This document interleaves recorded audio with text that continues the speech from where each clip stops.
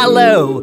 I'm Mark Rees, and welcome to this Christmas special of my curious ghosts and folklore podcast, where on each episode I investigate a different, weird, and wonderful subject.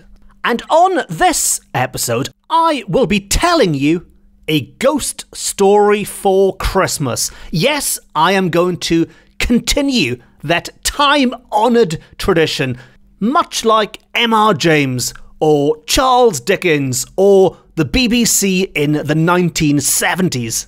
And while I can't compete with the likes of M.R. James or Charles Dickens, I can still try my best to send a shiver down your spine this festive season, and the one advantage I do have over the likes of M.R. James and Charles Dickens, and there are not many of them, but the one advantage I do have is that the ghost story I am about to tell you is a real life story. This story was recalled by witnesses who claim they had paranormal experiences on Christmas Eve. Now, this story takes place in a pub called the Castle Hotel. The Castle Hotel in Neath, a wonderful historic pub bang in the middle of the town. And regardless of the supposed ghosts that are said to be there, I think it's a fascinating place, regardless.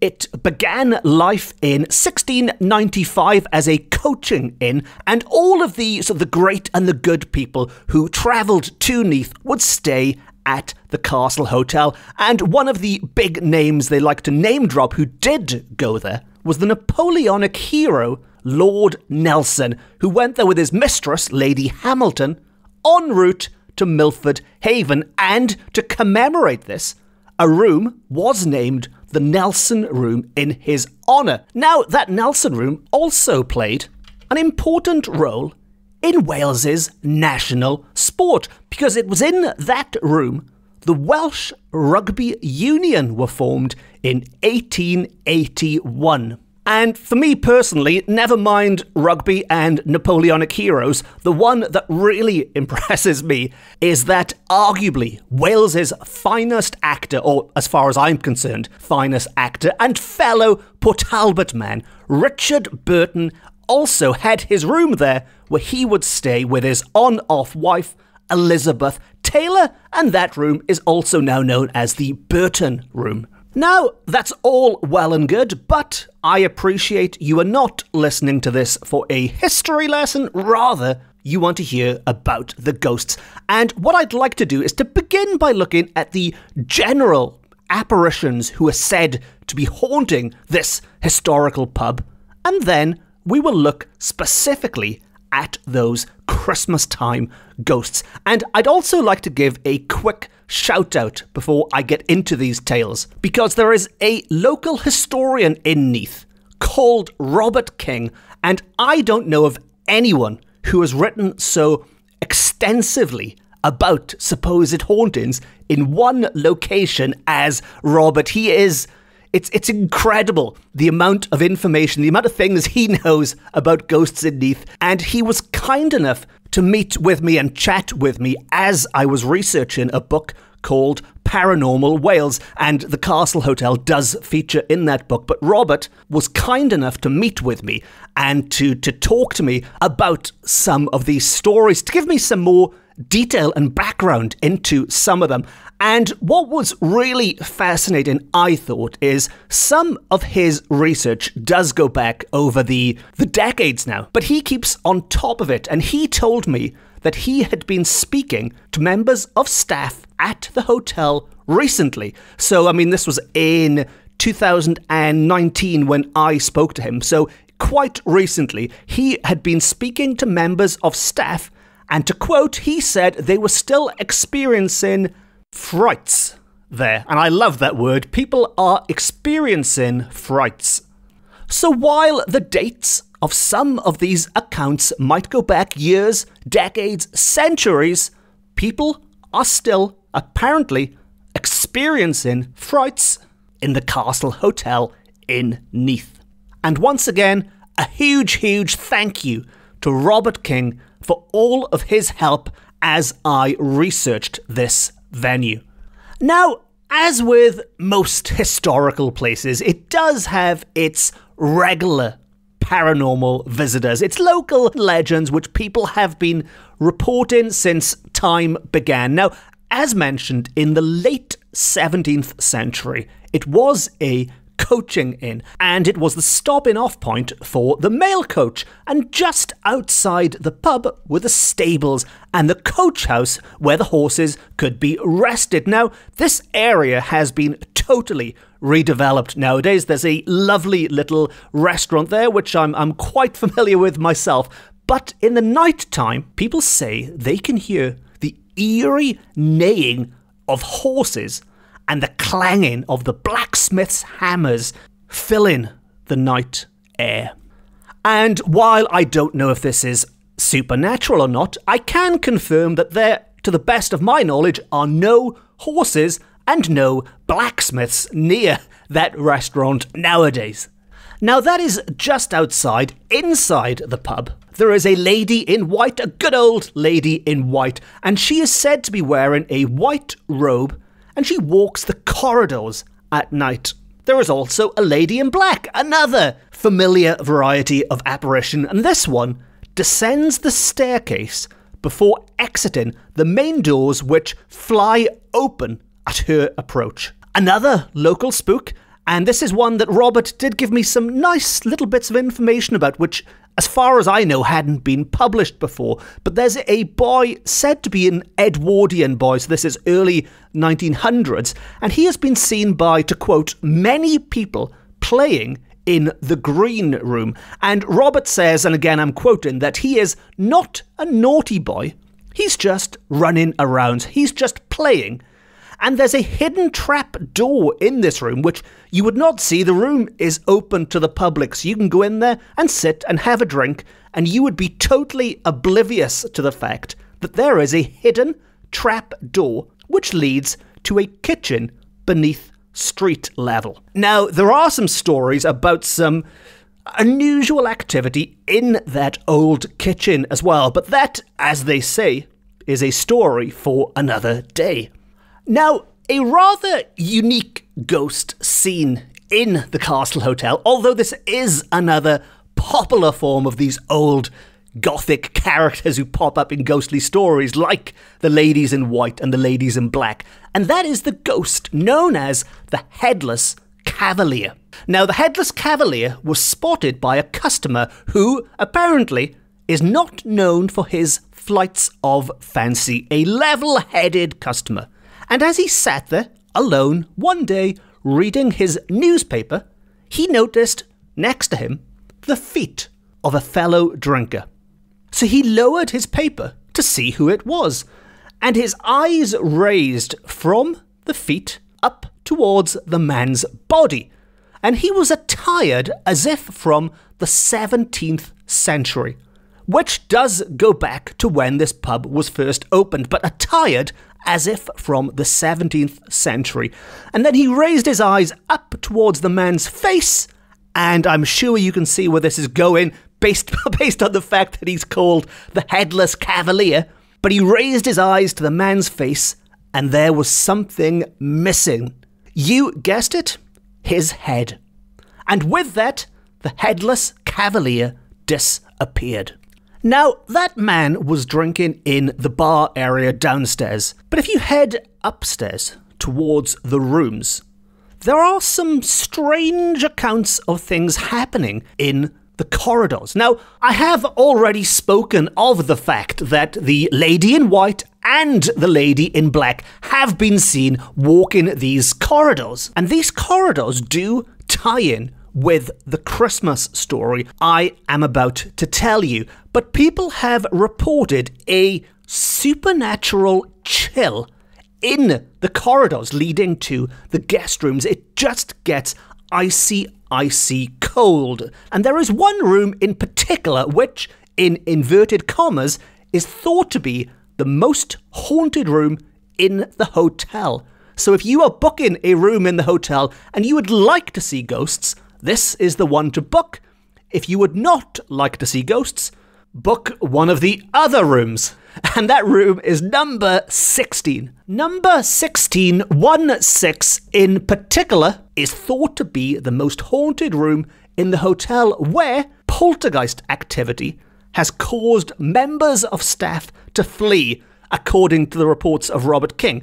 And one theory as to the angry spirit's identity, the one causing this poltergeist activity, is that she, it's a she, was a chambermaid who fell pregnant in a way young chambermaids were not supposed to fall pregnant. It was with a huntsman. It was not with her husband. It was something she should not have been doing. And yet, when she implored him to marry her afterwards, he refused. Now, this was in 1845, apparently, in 1845, in the Victorian age, and by all accounts, having a child out of wedlock was not the done thing. Having a child with some huntsman who was just visiting the hotel was a definite no no. As a result, this poor chambermaid, this desperate chambermaid with nowhere left to turn, hung herself in the corridor. She was hanging over the stairs, and people say to this day that as you walk down New Street in Neath, alongside one corner of the Castle Hotel, you can see that chambermaid peering from the window which overlooks the street below.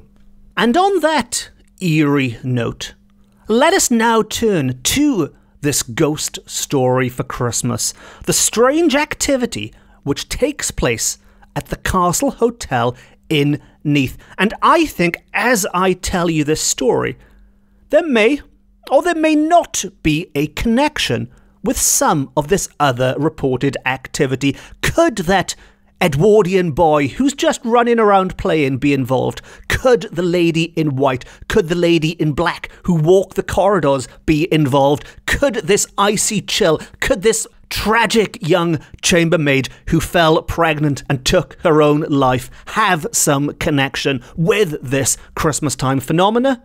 Well, I'll let you decide after telling you the story. Now, our story begins in 1998. There was a lot of festive spirit in the pub that night. And by spirit, I mean the traditional over the counter spirits, not the spooky kind of spirits that we talk about on this podcast. Or maybe you could say there were two types of spirit in the pub that night. Now, the staff were quite keen to get that place empty, locked up, and to get out and to, well, presumably get back to their own families ready for the big day. The bar was cleaned, the bar was closed, and only two people remained in that darkened hotel. It was the deputy manager and a fellow worker. And as they sat in the foyer, they heard a commotion upstairs. It sounded as if somebody was running along the landing.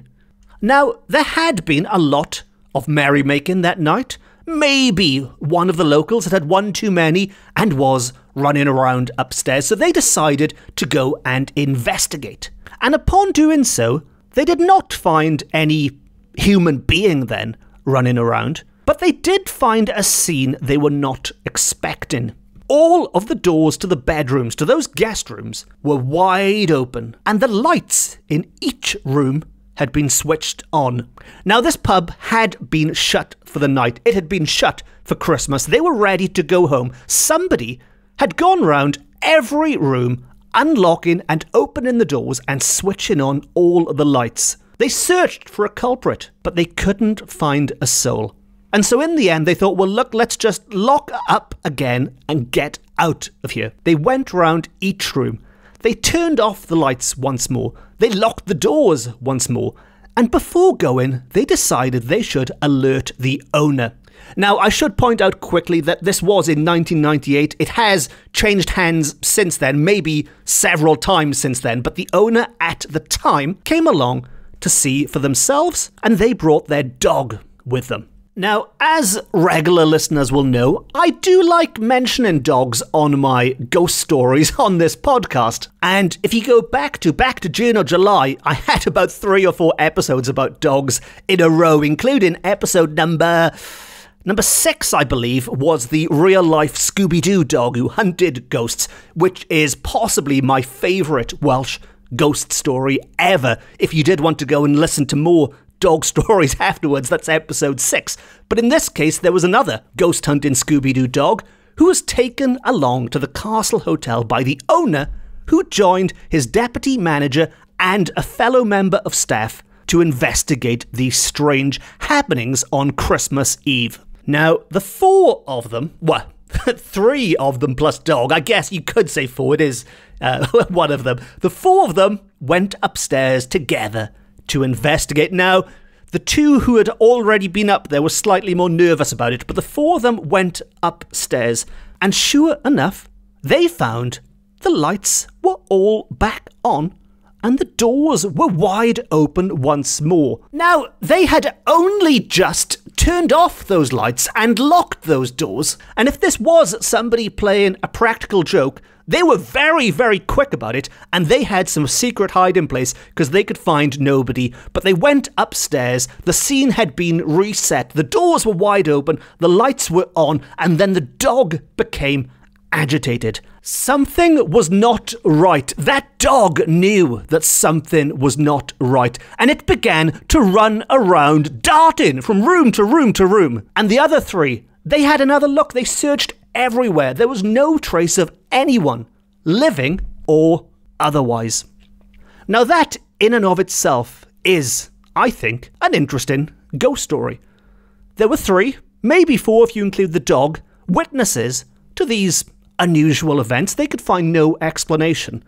But our story does not end there. Two years later, in the year 2000, on the same night, December the 24th, Christmas Eve, the sound of footsteps were heard dashing along the landing of the empty pub.